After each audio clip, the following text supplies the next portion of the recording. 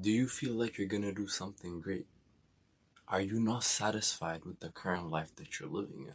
These all might be signs that you're called by God.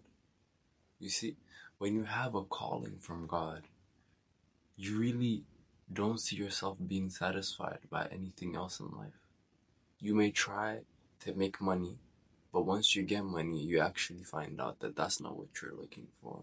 You may try to get in a relationship, but once you're in that, you realize that's not what you're looking for. There's this emptiness that's inside of you. And if that's you, most likely you are called by God. And the reason you feel empty is because you're living outside of your calling.